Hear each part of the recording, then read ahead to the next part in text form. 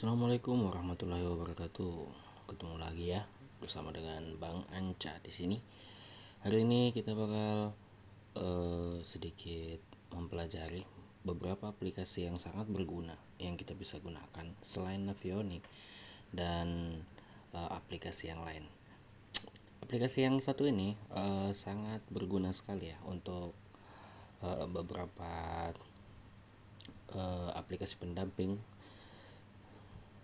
selain dari Navionic yaitu aplikasi Vision Point. Untuk aplikasinya sendiri ya, uh, posisi kalau di Playstore itu berbayar dan mungkin bisa di uh, nikmatin untuk versi free-nya tapi nggak semaksimal yang uh, sudah dimodifikasi atau yang buat teman-teman yang punya dana lebih bisa beli untuk versi yang pro-nya. Tapi yang saya bakal review di sini adalah versi yang uh, modifikasi. Ya. Ini izinkan aja ya. Ya, jadi di sini untuk tampilan awalnya seperti Google Maps ya, teman-teman. Jadi kita harus manual untuk mencari peta Indonesia. Nah, lokasi saya ini posisi sekarang di Kalimantan Timur, Bontang. Ini sangat sama dengan uh, apa yang ditampilkan oleh Google Maps ya. Tapi di sini pada berbeda dengan Google Maps yang memiliki fitur-fitur yang lain selagi. Jadi di sini uh, ada beberapa menu penting di sini yang bisa kita pergunakan. Seperti contohnya aktivitas ikan kita bisa melihat aktivitas ikan untuk beberapa hari ke depan. Nah ini airnya mantap ya 98% untuk hari ini. Kita bisa melihat untuk beberapa hari ke depannya. Dan uh, untuk teman yang menggunakan versi free yang langsung dari Playstore mungkin akan sangat terbatas untuk menikmati uh, fitur uh, aktivitas ikannya karena cuma dibatasi untuk hari besok saja. Tapi kalau untuk yang modifikasi ini ini bisa kebuka sampai satu bulan full bro. Jadi kalian bisa melihat aktivitas ikan di sini. Lanjut untuk menu kedua ada prediksi gelombang. Kita bisa melihat gelombang dan ukuran arus di sini juga. Suhu laut juga bisa terbaca nah untuk ini sih mungkin saya kurang mengerti ya. Mungkin beberapa teman ada yang tahu cara membacanya. Ini bisa juga ya sama kayak tadi aktivitas. Kan kita bisa melihat ukuran normal dan arus untuk hari ke depannya lanjut kita punya menu pasang surut air. Ini sangat berguna sekali ya juga. Kita bisa mengendalikan mengendalikan lagi. Emangnya patar kita bisa melihat di sini posisi air naik dan turunnya bro jadi kita bisa memantau jam-jam di mana ikan sangat agresif pada saat waktu-waktu tertentu. Di sini posisi air naik ya. Dan sama saja ini kita bisa juga nikmati untuk hari-hari ke depannya dan ini tampilan untuk menu yang paling atas kanan. Kalian bisa lihat di sini ketinggian air bisa kita lihat ya. Posisi air konda juga ketahuan semua. Lanjut dan ukuran untuk cuaca. Ini juga untuk bisa memprediksi apa yang akan terjadi di esok hari atau mungkin bisa kita prediksi juga menggunakan aplikasi seperti Weather Google. Tapi ini kita nggak bisa jadikan patokannya karena alam sangat misteri. Iya. Yeah. oke okay, sama saja ya. Untuk ke depannya kita bisa melihat cuaca juga sama. Dan ada beberapa di situ. Saya kurang mengerti juga yang bagian indeks UV ini mungkin tingkat kepanasan untuk paparan sinar matahari ya. HPA mungkin untuk tekanan udara atau beberapa mungkin buat teman-teman yang ngerti ya dengan menu-menu seperti ini bisa tulis di kolom komentar ya. Ah, di sini menu terakhir ada matahari dan bulan. Jadi kalian bisa melihat di sini ya beberapa mungkin teman yang biasanya memprediksinya dengan melihat uh, orbit matahari atau bulan. Kalian bisa melihat tanggal-tanggalnya di sini ya. Sangat praktis sekali.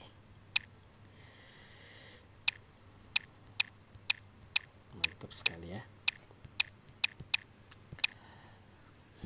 Lanjut uh, nah di sini bakal saya uh, tutorial lanjutnya adalah kita akan mencoba untuk menitik posisi kita. Yang di mana biasanya tempatnya ikan berada.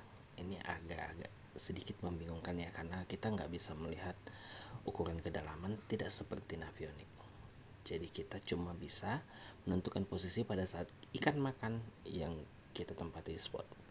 Bisa kalian tekan tengah lama-lama nah ini sudah muncul.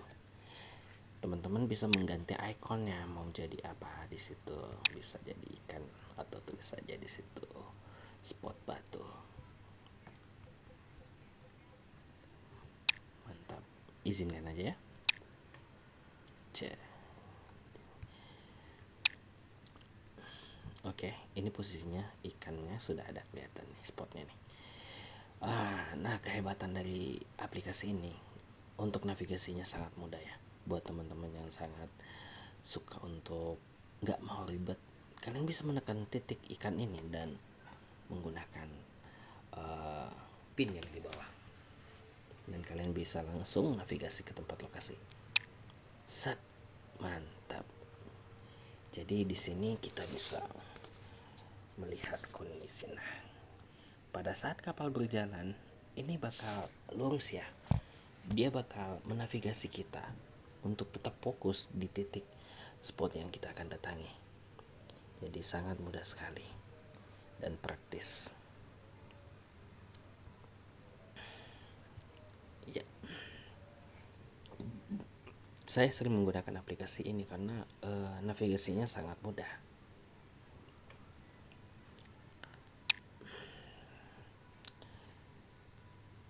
Dan bukan itu saja ya beberapa mungkin teman yang ada yang biasa uh, pulang malam pada saat mancing dan beberapa area di dekat uh, spot menuju uh, pelabuhan agak susah karena beberapa mungkin ada belat atau apa ada batu yang tinggi di situ.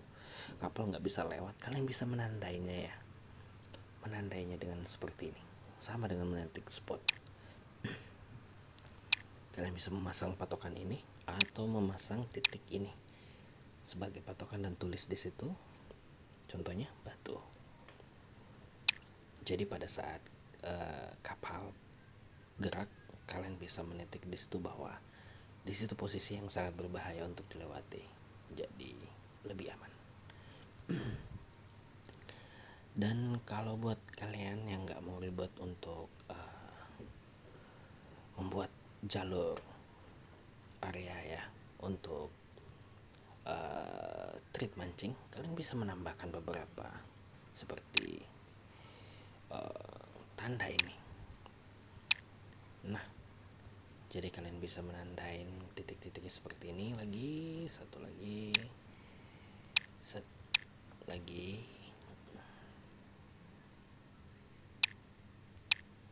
Nah mantap kalian bisa menandai seperti ini? Atau kalian bisa langsung ke sini? Jadi posisinya apabila sudah mendekati bisa kalian pindahkan lagi ke sini. Betul-betul sangat praktis aplikasi ini ya. Oke mungkin itu aja buat teman-teman.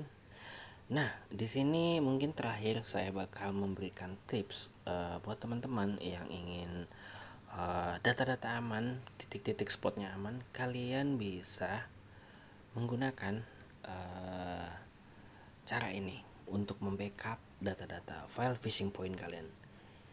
Kita keluar dulu ya. Seperti biasa kita menggunakan X File Manager. Kalian bisa mendownloadnya untuk di video saya yang lain. Ini ada linknya.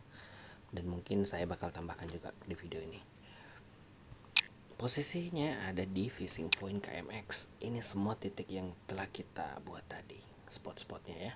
Kalian bisa mm, mengcopy folder ini dan memindahkannya ke device lain atau bisa menyimpan di laptop atau mau disimpan di Google Drive lebih aman lagi jadi lebih mantap ya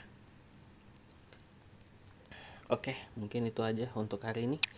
Uh, aplikasi yang sangat berguna. Mungkin next time saya bakal membahas uh, aplikasi Windy Pro untuk melihat cuaca. Tapi untuk video selanjutnya ya karena satu video aja udah lama kita bahas.